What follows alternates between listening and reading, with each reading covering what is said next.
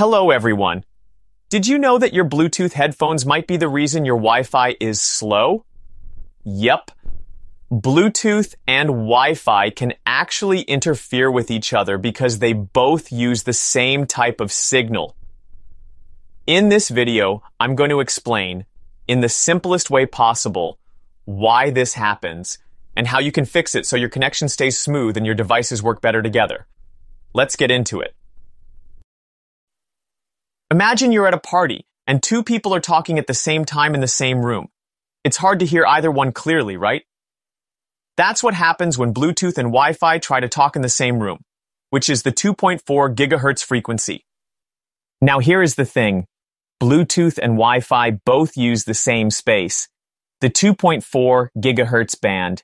It's kind of like two people shouting across the same room. Bluetooth doesn't stay in one spot. It keeps jumping around to different spots in that room, a method called frequency hopping. But if Bluetooth jumps onto the same spot that Wi-Fi is using, they can bump into each other, causing interference. So this will happen next, because Bluetooth and Wi-Fi are interfering with each other. This can cause a few annoying problems. 1. Your Wi-Fi might slow down. 2. Bluetooth headphones might cut out or lag. 3 your mouse or keyboard may feel sluggish. And that interference is what causes all of this to happen. So how can you stop Bluetooth and Wi-Fi from interfering with each other? Here are some simple ways to fix it. 1. Use 5 GHz Wi-Fi. This is like moving to a different room where Bluetooth doesn't go. 2. Keep some space between your router and Bluetooth devices. 3. Turn off devices you're not using. Remember that less crowd means less noise in the signal. 4.